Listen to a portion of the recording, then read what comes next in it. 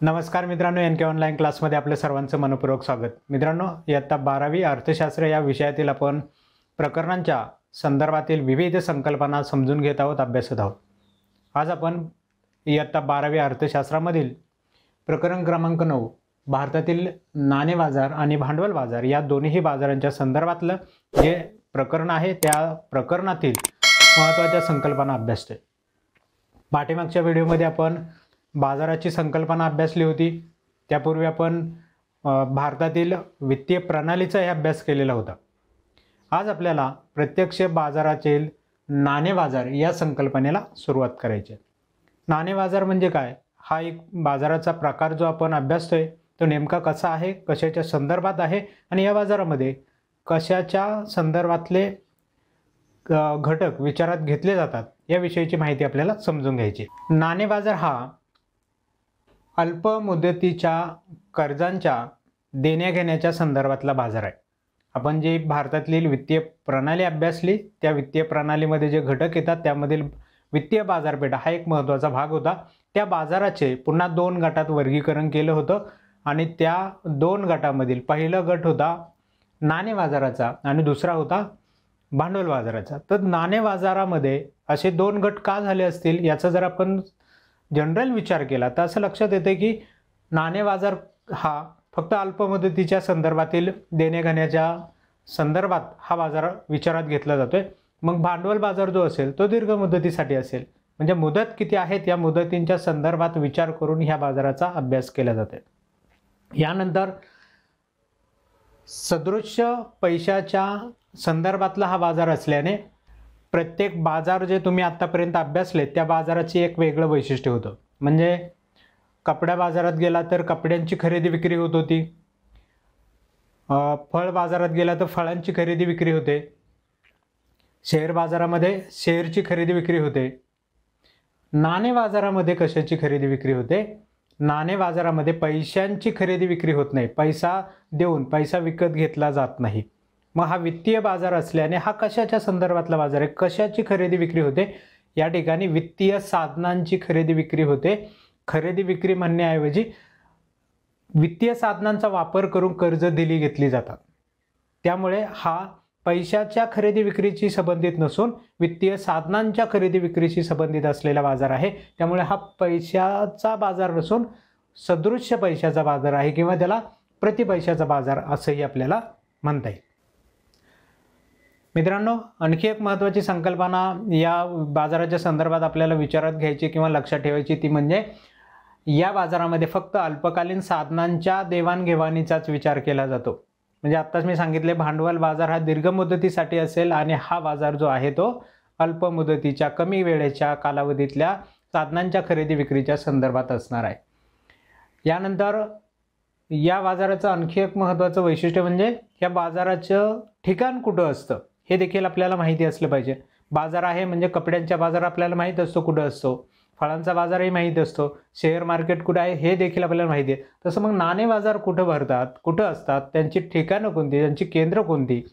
आता प्रत्येक ठिकाणी जिथं बाजार भरतो हे तर मी सांगू शकत नाही आहे कुठं असू शकेल.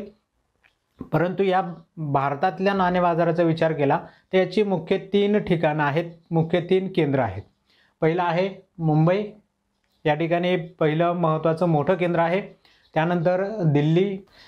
अशा प्रकारे तीन महत्त्वाची केंद्र आहेत. ह्या केंद्रांद्वारे मोठ्या प्रमाणात ह्या साधनांची खरेदी विक्री होऊन किंवा कर्ज दिली घेतली जाऊन हे बाजार चालतात. तीन महत्त्वाची मोठी केंद्र आहेत. यामधील सर्वात महत्त्वाचं केंद्र म्हणजे मुंबई आहे. कारण मुंबईसारख्या नाणे बाजाराच्या केंद्रावरती भारतातल्या सगळ्या राज्यांमधून पैशाचा ओघ मुंबई केंद्राकडे येत असलेला आपल्याला पाहायला मिळतो. म्हणून हे मुंबईचं जे केंद्र आहे ते सगळ्यात प्रभावी किंवा महत्त्वाचं केंद्र मानलं जातं. आणि मग याचे सब बाजार वगैरे जे असतात ते इतरत्र तुम्हाला पाहायला मिळते यानंतर मित्रांनो नाणे बाजारामधील आणखी एक महत्त्वाचा घटक आपल्याला विचारात घ्यायचा आहे. जो म्हणजे नाणे बाजारातील संरचना कशी असते? म्हणजे नाणे बाजार नेमका कशा पद्धतीचा आहे? हा देखील भाग आपल्याला समजून घेणं गरजेचं आहे. नाणे बाजाराची संरचना कशी आहे ती रचना कशी आहे हे एकदा आपण पाहून घेऊयात. म्हणजे नाणे बाजार बऱ्यापैकी तुमच्या लक्षात येऊन जाईल. नाणे बाजाराच्या संरचनेचं देखील दोन गटामध्ये पुन्हा वर्गीकरण केलं जातं. म्हणजे नाणे बाजार दोन गटात विभागला जातो. पहिला जो आहे तो आहे संघटित क्षेत्र आणि दुसरा जो आहे तो आहे असंघटित क्षेत्र. अशा दोन गटांमध्ये त्याचं वर्गीकरण आपल्याला पाहायला मिळते संघटित क्षेत्रामध्ये कोणकोणते घटक येतात? म्हणजे नाणे बाजारात कोणकोणते घटक आहेत की जे काम करतात? तर त्यामध्ये पहिला घटक आहे तो म्हणजे भारतीय रिझर्व्ह बँक. भारतीय रिझर्व्ह बँकेद्वारे नाणे बाजारातील ह्या साधनांची खरेदी विक्री होते म्हणून हा एक महत्त्वाचा घटक आपल्याला त्या बाजारातला सांगता येतो. संघटित क्षेत्रामध्ये आणखी एक महत्त्वाचा घटक आहे व्यापारी बँका.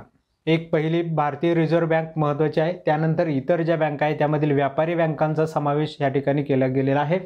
त्यानंतर तिसऱ्या गटामध्ये सहकारी बँकांचा समावेश आपल्याला पाहायला मिळतो. ह्या सहकारी बँका या ठिकाणी काम करताना दिसत आहेत. आणि यानंतर आहे विकास वित्तीय संस्था ज्या आहेत छोट्या मोठ्या पतसंस्था वगैरे सारख्या वित्तीय संस्था आहेत. त्या संस्था आणि शेवटचा घटक आहे तो म्हणजे भारतीय वित्तीय गृह.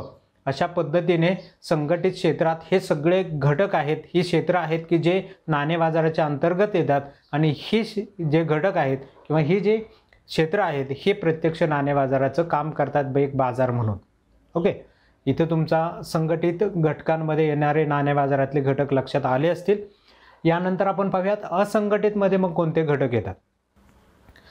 असंघटित क्षेत्राचा विचार केला तर असंघटित क्षेत्रामध्ये तीन महत्त्वाच्या घटकांचा समावेश आपल्याला पाहायला मिळतो. त्यामध्ये पहिला आहे स्थानिक बँकर्स.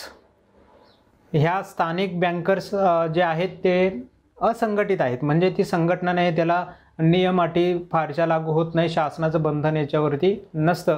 संघटना नाही आहे संस् एक छोटीशी व्यक्ती किंवा काही लोकांनी मिळून स्वतः स्वतःच्या पद्धतीने चालवले संस्था असते अशी बँक स्थानिक बँकर्स असतात. त्यानंतर सावकार आहेत. सावकार देखील अशी एखादी व्यक्ती असते की जी लोकांना कर्ज वगैरे देण्यासाठी काम करत असते कमी वेळेतील. म्हणून याचा समावेश नाणे बाजारांतर्गत येत असतो. पण असंघटित क्षेत्र संघटित नाही आहे आणि तिसरा महत्त्वाचा घटक यामध्ये आहे. तो म्हणजे अनियंत्रित बिगर बँक वित्तीय मध्यस्थ संस्था ह्या अनियंत्रित आहे त्याच्यावर नियंत्रण नाहीत.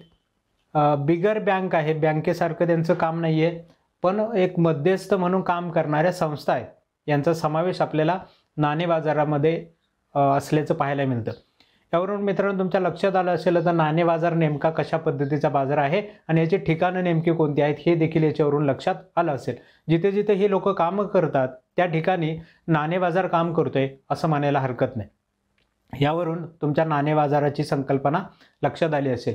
यानंतरच्या लेक्चरमध्ये आपण संघटित क्षेत्रातल्या प्रत्येक घटकाचा सेपरेट अभ्यास करणार आहोत. भारतीय रिझर्व्ह बँकेचा व्यापारी बँकेचा सहकारी बँकांचा त्याचबरोबर हे जे असंघटित क्षेत्रातले घटक आहेत या असंघटित क्षेत्रातल्या घटकांचाही डिटेलमध्ये स्थानिक बँकर सावकार काय आहेत हे सगळे घटक अभ्यासणार आहोत. चला तर मग भेटूयात आपल्या पुढच्या नवीन व्हिडिओमध्ये. तोपर्यंत नमस्कार.